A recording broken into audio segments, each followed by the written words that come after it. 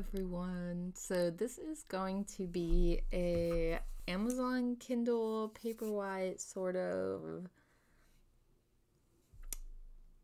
video. Um it's not really a review and it's not really um it's not really anything in particular. I just really want to talk about how much I love it and some of the books that um I've read on it and just what I've been enjoying. And I also wanted to show you guys my Goodwill haul that I got recently and just kind of talk about that. So, um, we'll start with the Goodwill first because that uh, these are the ones I've had the longest. So, I found The Stand by Stephen King. Um, it's obviously well loved, um, but I just thought it's it's very much printed in um, a older sort of format, uh, the kind that I think of whenever I was reading books as a kid. Um, this has the copyright, of course, at 1978, but it looks like this one was printed in 91. So that makes sense. I mean, I was born in that. That's crazy. This book is as old as me.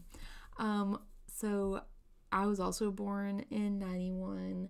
Um, and so this just kind of had um, some nostalgia, I guess, to it. And it's just, it looks, it looks really big. Um, there are, oh my gosh, there are 1100 pages. I didn't even realize it was that big whenever um, That's bigger than I thought it was. Uh, so, anywho, ha, that is uh, terrifying, let me just say. Um, but it just, it's one of those classics that I feel like everyone has either read or seen the movie, and it's just one that I feel like needs to be read. So, this may be one of those that I keep by my bedside and read at night, or I don't know. I hope to read this by the end of the year, but this may just be one that I put somewhere and hope for the best. This was only $7 when it came out. It's funny because I saw a, a really nice uh, Barnes and Noble edition of The Stand just this last week, and it was like $15 for it, which is funny because I don't know, it's just weird how this was probably brand new at the time and now a paper bag you know is at least 10 so i don't know. I just think it's funny how prices you know inflation and value is just so strange. I mean it's still the same text it's still really the same book but it's just interesting. So moving on from that tangent um i also got the Silmarillion i can't remember how to say that um and i'm pretty excited about this I have read the Tolkien books as a kid, The Lord of the Rings, um, The Hobbit. Recently, I read them with my students and we rewatched all the movies. It was a lot of fun. Um, most of them had never even heard of Lord of the Rings because, you know, they're 13, 14. It's not it's not that popular anymore either. So I don't know. It was a lot of fun to watch it with them. Of course, they were all like, "Oh my gosh, I love this character! Like he's so cute, or she's so beautiful," and I was just like, "Yeah, you're welcome." Um, but yeah, so I think this will just be very interesting um, because I have never read it. I've never, I know nothing about it. I just know it's sort of like the history, I guess, of Middle Earth. And the cover was so pretty. I don't know if you can really see it, but it's got like this very beautiful sort of um like watercolor. I don't know. It's just I don't even I don't know who that is. I don't know who that's supposed to be on the cover, but oh my gosh, beautiful. So, anywho, that was the other one I got. And then I have never read any of the Golden Compass books. Uh, when I was growing up, this is this feels like so conservative to say.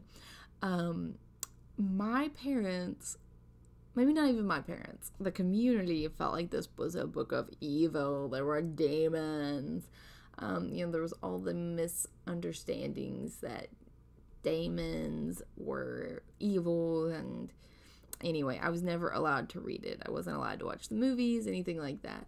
And then uh, when I was old enough, I sort of just lost the. I never really thought about it. You know, it wasn't something that came up.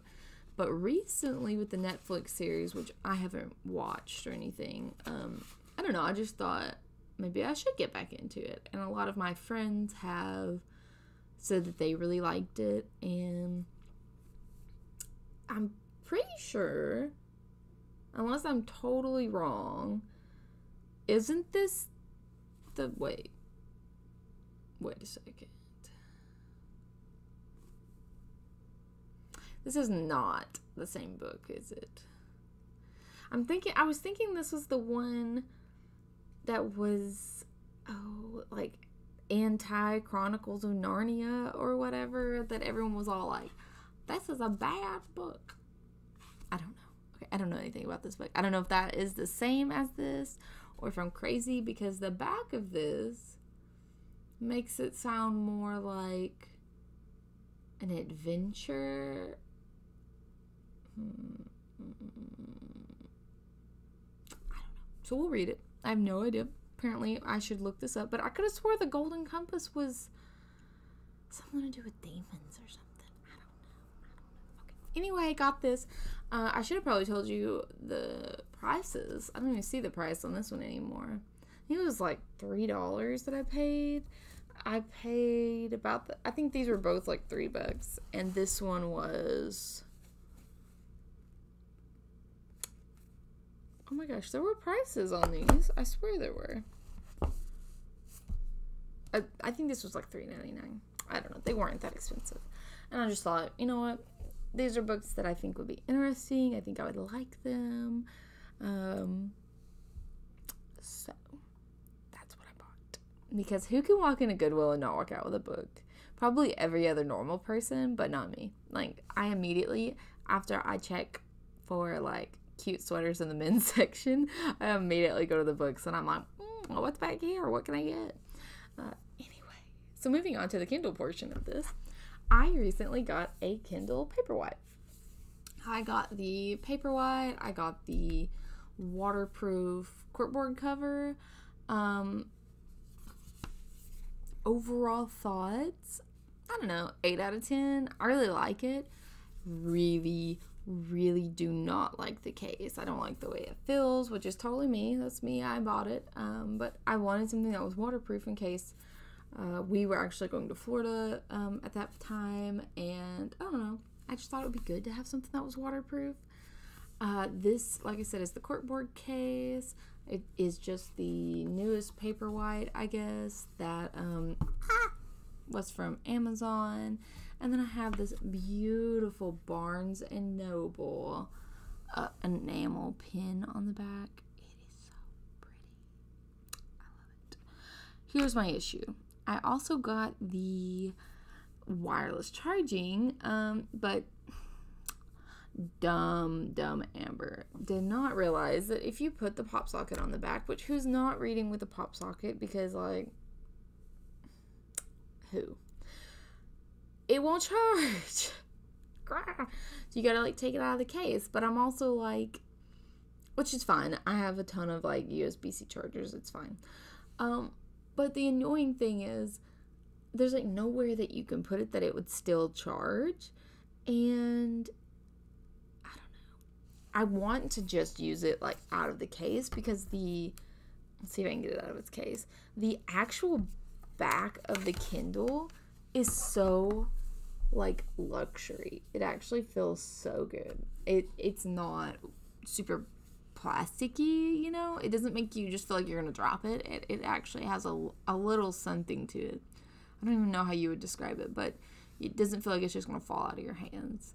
Um, of course, they did the really stupid button on the bottom. Like, why would you put the power button on the bottom? That's so stupid. Um, but I mean, otherwise, I really like it.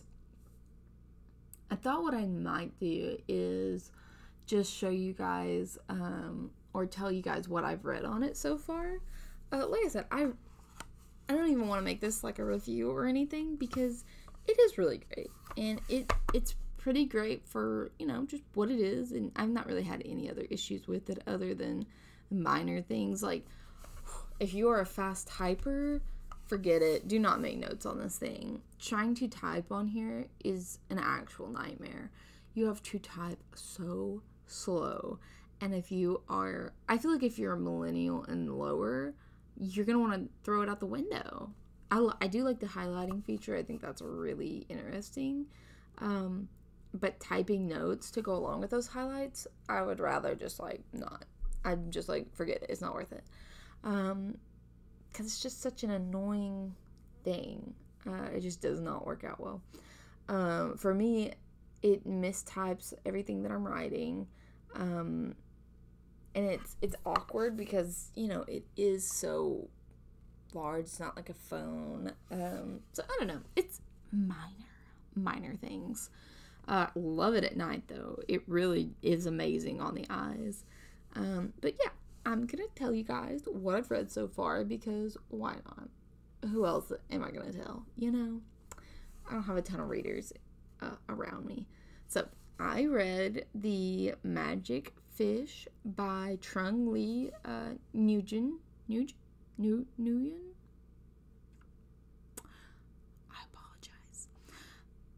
So good. Oh my gosh, five stars. It was beautiful. It was amazing. The artwork was incredible. I loved everything about it.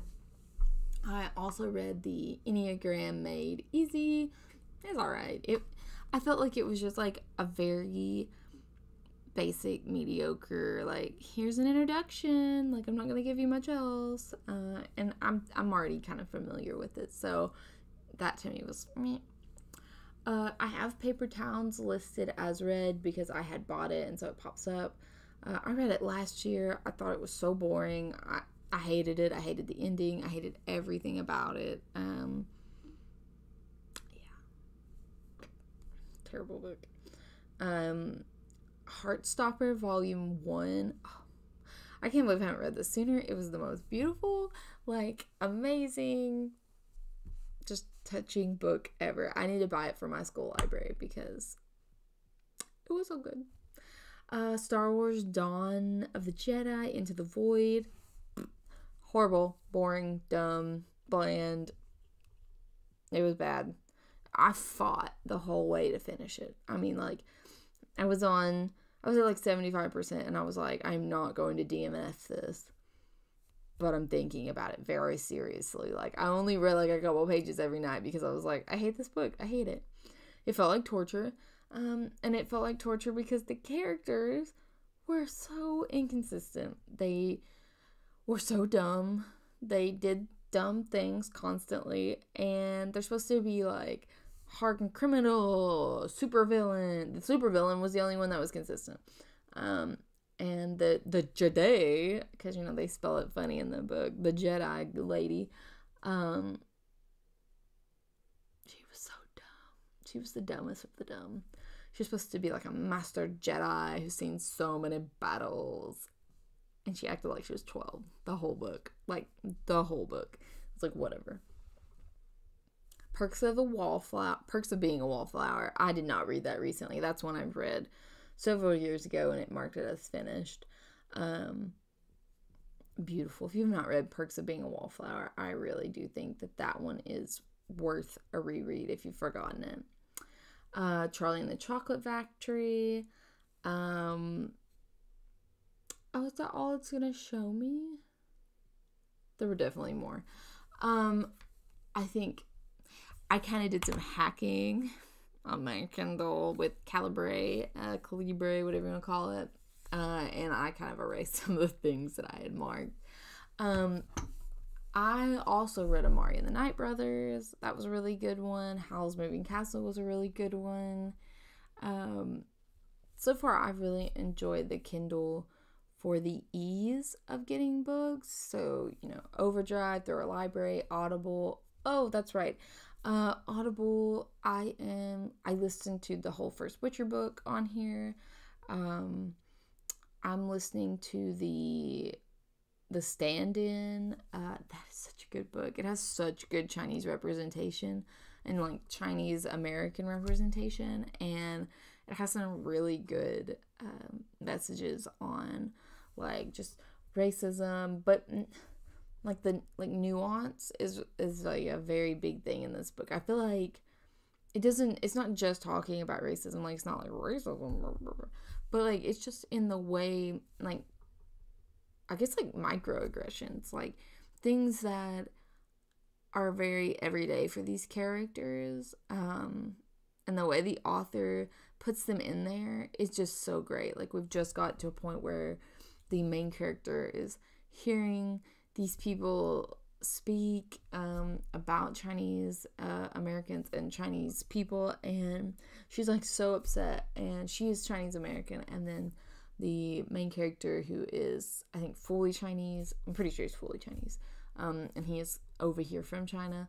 Um, he's like, you know what? Don't don't let it bother you. And she's like, it is making me mad, and he's just like, you I don't want to spoil anything, but basically he just he shows the audience, especially like a non Chinese audience, like the white audience pretty much, um, just different sides of things and the book is just amazing so far. I've really enjoyed um, some of the conversations and some of the just the things that are okay. An example I will use without spoiling anything is she is obviously, if you ever read the synopsis, she is pretending to be this Chinese actress um, so that that actress can deal with her mental health.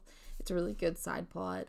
Um, but she basically she's worried about them getting recognized and the guy just very like bluntly says are there going to be any asian people there and she's like oh, i don't think so and he's like then we're not going to get recognized. And like that is such a powerful line even though it was such like a one-off line because it is true people just like if they are not involved in the culture, I guess, or around it, they just view everyone the same. And it's just like he's so right. He's like he might be the most famous actor in China, but these white people aren't gonna be able to tell the difference, like because like of the unfortunately racist thing of they think everyone looks the same and they can barely tell the difference because and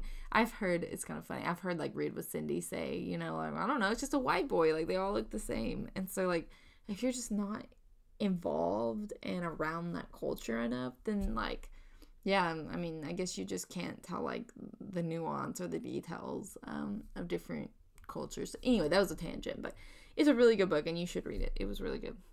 So I think I am going to end there. I have a lot of reading to do. Um, if you have any suggestions for books that you think I should read, I do have um, a Goodreads. I'd love to get suggestions.